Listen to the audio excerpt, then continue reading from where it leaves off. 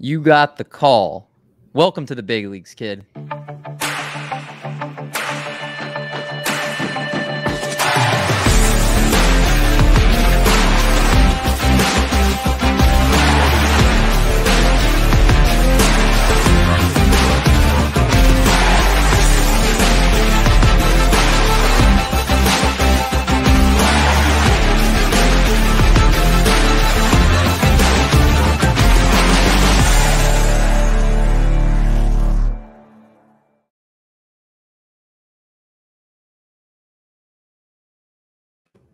What's going on, everybody? Welcome back to the call up presented by Triple Play Fantasy.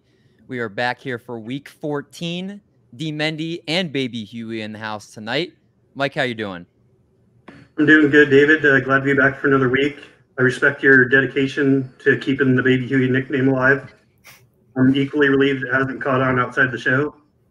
But uh, we're excited to be back this week with another great guest, and he's been out here grinding putting out uh, prospect content and some interesting lists, and I'm happy to have a chance to talk with him.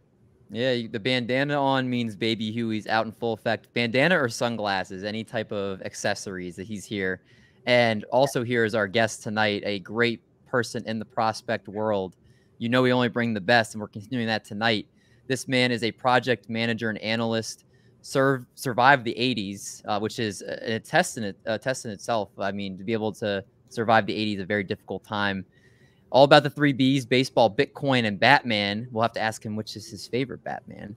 He's a writer and editor for the Dynasty Guru, and most importantly, the creator of ScoutTheStatLine.com. It is Ross Jensen in the house tonight, ladies and gentlemen. How's it going, man? I'm doing really good. Thanks for having me. Of course, uh, we talked before the show. That you got the hat, the Oakland A's hat, rocking tonight, getting me pumped up before we get started here, can you tell us what Scout the Stat Line is? Yeah, sure. This is a website that I started with my colleague uh, Jordan Rosenblum at uh, the Dynasty Guru when we met in 2019, and and you know he put together. He, he's done some fantastic research on on prospects in in regards to uh, major league translations. So taking their stats and translating to what it would look like at a, at a major league level by based on uh, average player performance as they reach that level. Um, he also has done some really good research on aging curves, and he built this nifty little calculator. I think this was 2019.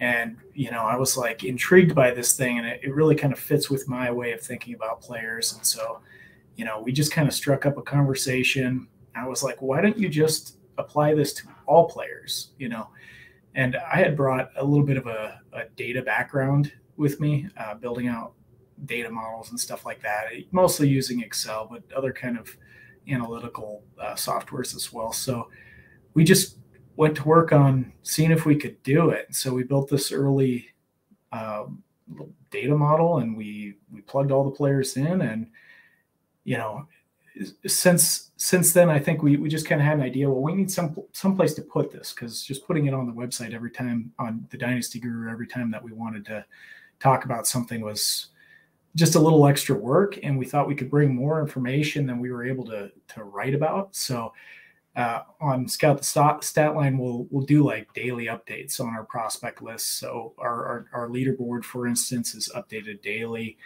Um, and it's just the whole idea is to bring you the most up to date information. So it's in contrast to what you see for traditional like top prospects lists where, you know, there's a lot of manual ordering. This is all done just through data analysis.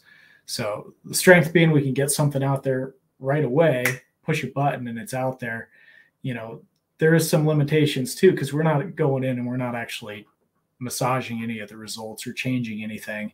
And so sometimes I think I get a little confusion from from some of our users where they're saying, ah, so and so shouldn't be ranked number seven or whatever. And it's like, well, to change that means changing the model. And there's been a lot of thought and a lot of effort that's gone into that. So just to just to clear that up. So in case anyone has questions, I'm happy to talk about the model, but you know, it's not me actually going in and placing these guys in, in rank. I, there's no way I could do that for 2,000 players on a daily basis anyway.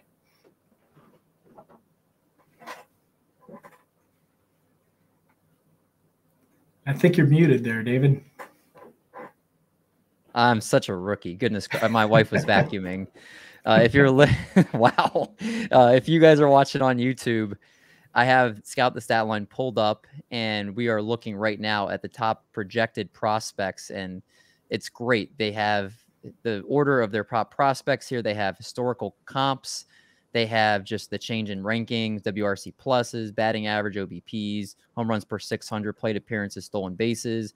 I mean, they have everything here. This is just one section of the site, and uh, you went into great detail about what everything is on here. So I won't go ahead and, and add to all the great stuff you already said. But if you can, if you can see on YouTube, this is very legit. Uh, just all these different parts of this site. So make sure you guys check that out again. That's scoutthestatline.com. All right, guys, let's go ahead and let's jump into what the call up is. And we've got our four sections of the show, leading off with our MILB players of the week. Starting off with the hitting side of things, Noelvi Marte, shortstop for the Seattle Mariners and their organization, one of the top prospects in all of baseball, and somebody that you don't get shocked when you see him destroying the minor leagues, Ross. And uh, again, just over his last 10 days, just continuing to mash. Yeah, so I'm I'm excited to be able to talk about Noelvi Marte a little bit. Um, but where I want to start is oddly enough, I've always kind of thought he's a little overrated um, you know, you, you started seeing him, especially at the beginning of this season, cropping into some top 10 lists. And I felt that was a little high, but he's really kind of validating it over the last uh, week, 10 days, as you mentioned. He's got great power speed combo. He's a big athletic guy. Um, and over the last seven days, he's number two on our hot list for projected peak WRC plus. So that's a testament to how strong his performance has been. And over the last 30 days, he's number three on that list. So he's been consistently strong for uh, a month now. Uh, and during that period, he's got seven home runs, six stolen bases. Uh, that's what you want in fantasy baseball, obviously. 25 runs scored, 19 RBIs. Yeah, he's he's been on a heater, and I think if you were able to pick him up during a slow start, you're probably happy. Uh, if you can get him now, it's probably still maybe a good opportunity as he's as he's lost some of that luster. Um, but you know, if he, he's going back into the top ten, that's you're probably going to miss your opportunity. So you better jump on it quick. Yeah, I mean, another great prospect for the Seattle Mariners. Their top prospect right now, according to most sites, got a ton of power, especially from the pull side, and just somebody that I'm wondering if he stays at shortstop. May I know the uh, defensively, maybe there's some questions there, but the bat, there's no questions about it. And Mike, I know you're very plugged into the Seattle Mariners. It seems like Ross is a little bit down on him in the top 10. Where do you have him? Well, like I said last week, I, it's been a little while since I've done an official update. Uh, he would have dropped down for me, but I'm not someone who ever had him as high as, as other people originally. So I, I guess I'd have him somewhere in between 20 and 30 right now on a dynasty list. Okay, fair enough. So we got two very many people plugged into prospects here, and Mike and Ross both saying, "Hey, not top 10, but you know, definitely inside that top 30." So just keep that in mind there. All right, our next player we're going to talk about is Bo Naylor, catcher in the Cleveland Guardians organization. Over his last 10 days, hitting near 500, three home runs and seven RBIs, and just Mike on the season these Cleveland Guardian players, one of them we'll talk about a little bit later, their position players are starting to come along a little bit here for this team. Yeah, absolutely. Uh, Bo Naylor is someone I don't normally talk. I don't normally talk about catchers a lot on fantasy shows, but this is the younger brother of Josh Naylor that we've seen doing some good things in the major leagues right now. Uh, the thing that caught my attention really was the 429 OBP 502 slugging, the 10 home runs and 12 steals from a catcher. That's rare to have a, a double digit in both those from someone who's capable of playing catcher. Uh, he's been young for his level coming up as well. So he struggled last year. Uh, he's a great case study for organizations, you know, assigning players aggressively. And then he struggled as a 21 year old. Comes back this year as a 22 year old and looks like he's above the level. So he's up to tri- AAA, and he's gotten even better since he's moved up there too. As you said, the Guardians are in the midst of a transition, so they're definitely looking for players that can step in and become regular. Uh, as far as the scouting grades go, coming in the season, he had a well below average hit tool, which I think is wildly inaccurate. Uh, I would I would give him an above average hit tool, plus raw power potential. That might be a little bit much, but at least above average. And then he's got a decent amount of speed. I'd say he's at average speed, which is notable for a catcher. So he has improved defensively behind the plate, but there's still like a risk he moves off the position.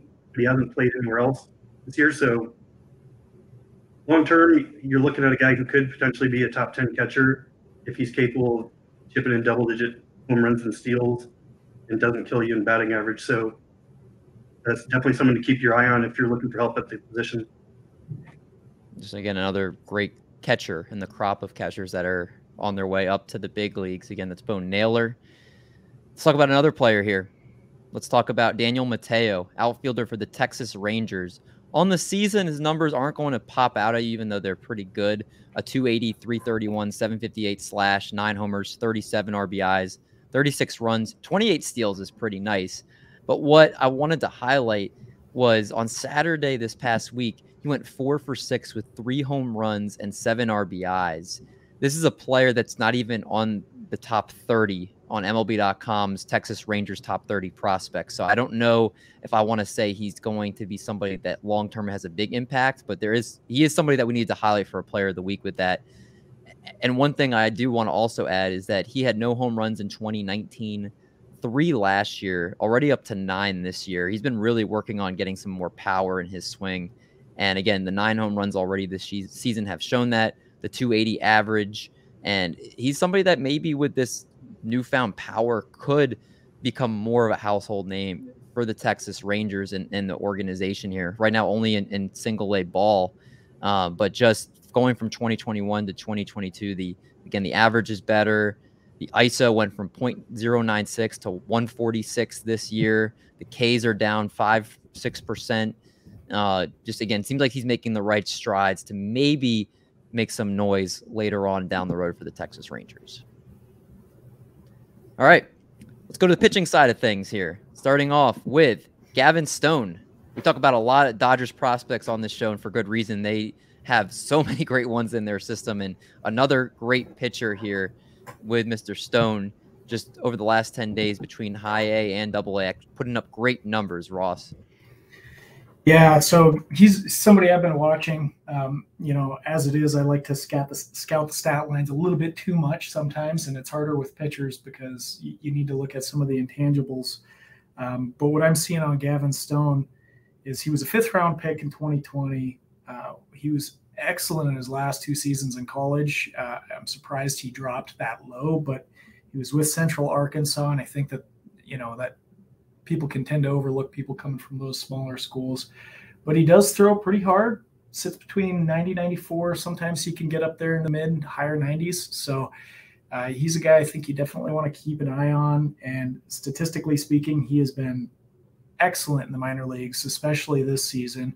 As you can see, the 1.34 ERA, high A and, and double A. So he's definitely something that I'm someone that I'm looking to pick up where I can. And I know I have a couple midseason drafts coming up here, and he's going to be somebody I'll be targeting. Yeah, jumping from kind of the low 90s fastball in college to now he can touch 98. And now he's got a really good slider, mid 80s slider that seems like it's uh, helping against right handed batters right now. And again, if you can throw hard and have a good slider, you've seen pitchers succeed at the major league level. And he's could be the next one to do that. Long term, Ross, do you think what's his ceiling? Uh, number three starter, or do you think he could be a front line of the rotation type of arm? Uh, I don't know that I would I would give him the stuff gradings to say he could be an ace, but I I, I think a, a two is a realistic ceiling, and a three is probably a, a more realistic outcome. Okay, fair enough. Talked to Ben again this time. Gavin Stone. Last week we talked about Mr. Uh, Bobby Miller. Both two great pitchers for the, the Los Angeles Dodgers. Let's go to our next player here. And this pitcher, DL Hall, one of the more well known prospects across Major League Baseball. And right now, with uh, with Grayson Rodriguez on the shelf, the top pitching prospect for the Baltimore Orioles, the lefty's been putting up some great numbers over the last 10 days.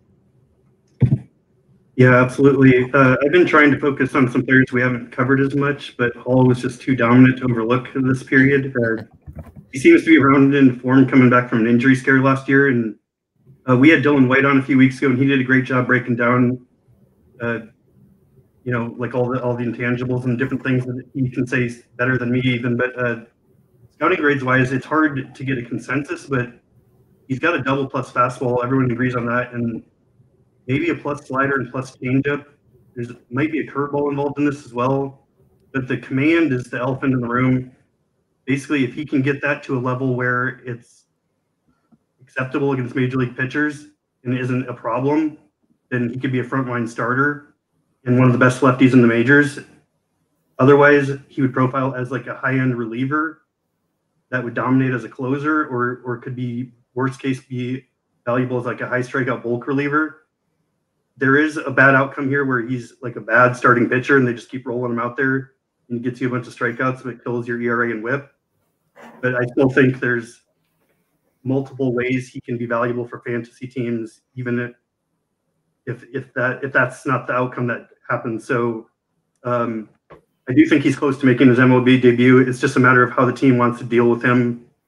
Uh, if he wasn't injured last year, he'd already be up. So uh, if you if you are looking for someone with K upside that you want to stash uh, that's close, he's definitely on the short list for me right now. Especially with the Orioles in surprising contention right now. Uh, he's somebody I'm sure that they're going to want to get up there to have the best arms they can to, to compete down the stretch. Uh, so that very enticing DL Hall there. This next player I got to shout out our buddy Christian Crespo, a somebody that you've seen on this show, very smart prospect mine and a buddy of ours that you uh, you guys all know. Ty Madden, starting pitcher for the Detroit Tigers, eh, or in their organization on the season, a 2.61 ERA in just over 72 innings, 73 Ks, so a little over a K per nine. Great whip at 1.01. He's gone 13 consecutive. Uh, that should say innings, not outings. So for those that are watching on. YouTube, we do definitely make mistakes here. 13 consecutive innings without allowing a run after five shutout innings in his last start. Nothing flashy for him. Uh, 16 games this season, a, a K rate just above over nine, walking, you know, two and a half per nine, home run rates acceptable across the board, just very average uh, a lot of statistics. But he's somebody that doesn't getting a lot of shine. And in high A ball, he's just doing what's been asked of him right now. And somebody I do think, you know, just keep an eye on him. The the obviously the Tigers don't have a lot of great pitching and maybe he can wake his way up through the minor leagues and, and be a back end arm. I don't see him being an impact arm, but just again, somebody that I, I, felt like deserved highlighting 13 consecutive innings without allowing a run is definitely something we want to make sure you guys saw on this show. All right. Notable promotions, players that have been getting the call, or we have players getting a bump up in the minor leagues. And we saw a few of them. Corbin Carroll going to Reno, AAA team for the Arizona Diamondbacks, one of the top, if not the top prospect in all of baseball right now. Vaughn Grissom going to Miami, or I'm sorry, Mississippi Double A team for the Atlanta Braves. And Nolan Jones, supposed to say the the uh, Cleveland Guardians, and I accidentally put St. Louis Cardinals. Again, two mistakes for me, three strikes, I'm out of here. So, uh, and then one player we talked about on this show maybe he he's definitely, if not number one, top three most mentioned player in the 14 weeks we've done this show, and that's Esteury Ruiz for the San Diego Padres. He did get the call today, and he's in their lineup. I think 60 steals are right around there on the season in the minor leagues. It's he's been absolutely just incredible. Ross, any of those four players that we brought up that you would like to highlight here? Well, I, I mean, if you're going to give me an opportunity to talk about Corbin Carroll, I'll, I'll definitely take that. uh, in my opinion, he's the the best prospect in baseball already. So I, I think you know it, it, we're, we're probably going to see a cup of coffee at the end of the year. I hope we do. Um, no guarantee, but for sure, early next season, I think we'll be seeing him. He's got power, speed. Guys just got natural talent, and I've been thinking you know, since last season that he was likely the the next number one guy. He was going to be one of those guys anyway. Um, you know, one of the front runners. I, I, shouldn't just say it so definitively, but he was actually leading on Scout the Stat Lines uh, prospect leaderboard. He was leading prior to the season. He just didn't have the eligibility, so that was something I was definitely keeping an eye on. And as soon as he passed the threshold, you know, he was hurt all last year. um, he was he's been at the top and hasn't missed a beat. So he's definitely a guy that I'm really interested in. Those guys are all very good players that you mentioned, though. So you know, uh, Nolan Jones, I, I'm not sure that I see him being like a star level fantasy player, but he could be a guy that gets on base. He could be a, a good fill in for your teams too. Yeah. Again, uh, all those, like you said, all the prospects are great there. Corbin Carroll, Nolan Jones, and again, Esteury Ruiz is not on the graphic, but he is in the, the Padres lineup today. I hope, I hope he sticks. That know, would be. And Vaughn Grissom, I, I think he's a little underrated still, and I think he has been dating back to last year. I, I don't know exactly what the bias is there, but I just get the feeling that that people don't like him, and he's better than people think. Yeah, good, well said. Um, let's go to prospect watch. Let's talk about players that we're keeping our eye on as they rise up the minor leagues here. And kicking it off with our first player, Emmanuel Rodriguez, outfielder in the Minnesota Twins organization, low A ball. Ross, I I don't I'm I'm in the closet Twins fan, even though I really don't my fandom is these days has waned a ton. But I love to see another young outfielder. The Twins just keep seeming like there's tons and tons of them in this organization.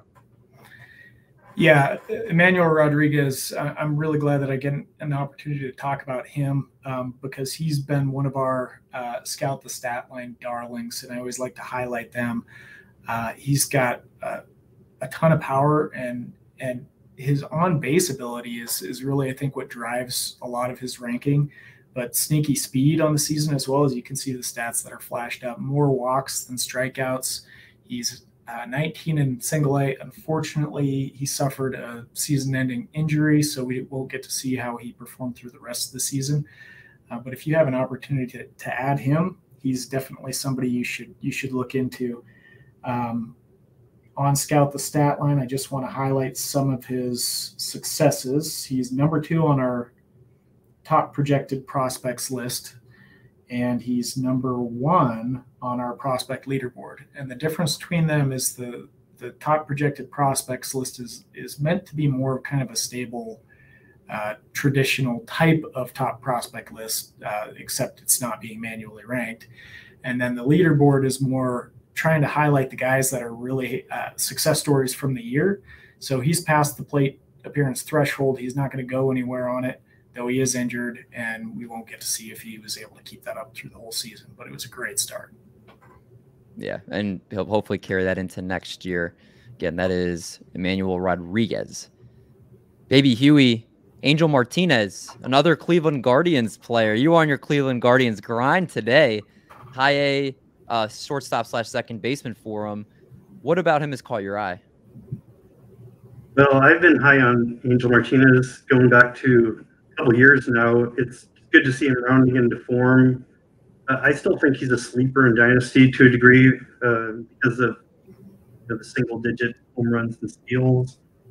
But uh, scouting grades wise, he's got an above average hit tool, average power plus speed. I think he's going to end up being at least above average in all phases of the game.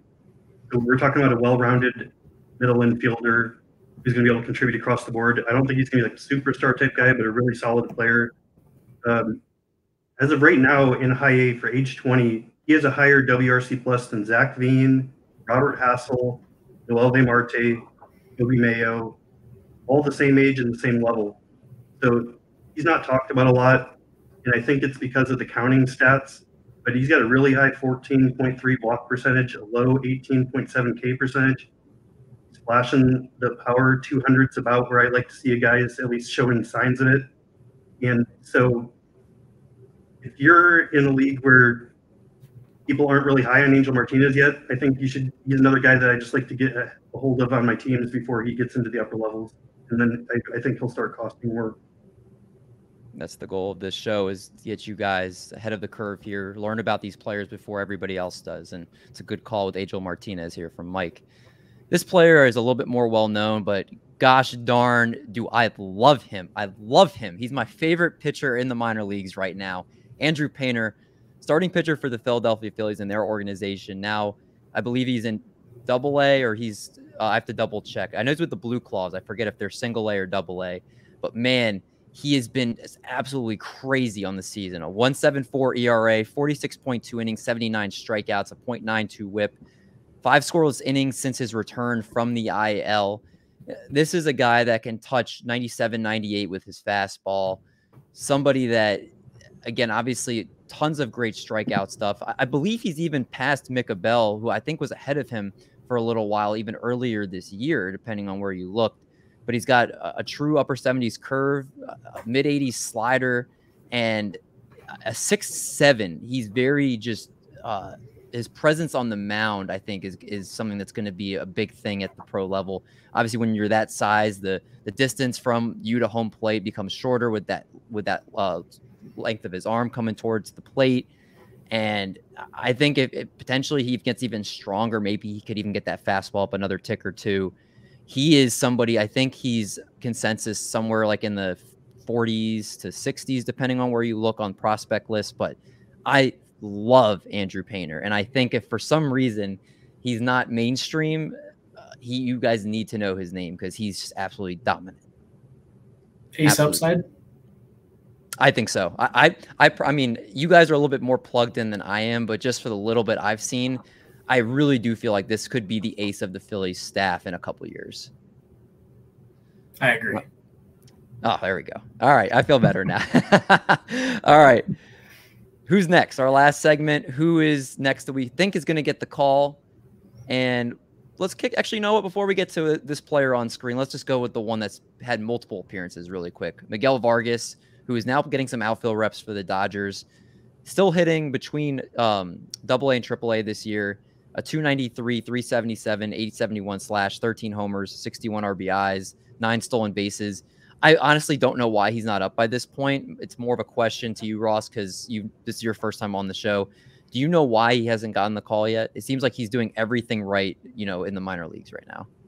No, probably because he plays for the Dodgers. I just don't think that they have they don't have the room for him. So, I mean, they're going to have to find a way to get him in the lineup. I just figured, you know, with the Chris Taylor injury, and then there was a, another injury. I forget which who it was, uh, but you were there were two injuries. I thought one of them would get him in there, and uh, unfortunately, not. Uh, he's hopefully by next show. You'll, but we'll never know. Well, I can't I can't speak definitively on this, but I've read he's kind of got some some defensive questions, so that might also be part of what's holding him back. Yeah, that's fair. I mean, uh, Dodgers definitely will value their defense, so that's something that maybe he'll have to work on a little bit. Or if they stick him in left field, you know, just I guess depending on what the injuries or how they're going to shake out here. Let's go to a player that I don't believe he's been talked about on the show, or if he has, it's maybe been only one other time. Curtis Mead, a third base slash second baseman in the Tampa Bay Rays organization between Double A and Triple A this year. He's been doing really well. And Ross, you think he could be the next guy for this Tampa Bay Rays team to be on their roster? Yeah, I, I mean, to be honest, this might be more wishful thinking than than reality, knowing how the Rays move. Um, but they have showing a willingness to be aggressive with with uh, really advanced hitters, and I think Curtis Mead could qualify for that. He's just he's a hitting machine. He's hit everywhere he's been. He doesn't strike out a lot. Apparently, from what I've read, he's a lot bigger looking than it looks like he is in his bio. So, I mean, you, you got the size, you got the strength, you got the ability to hit. He doesn't strike out a lot. He walks at a decent enough clip. Um, last year, he had a 911 OPS. This year, combined across double A and triple A, he's at 924. So, he's improved that.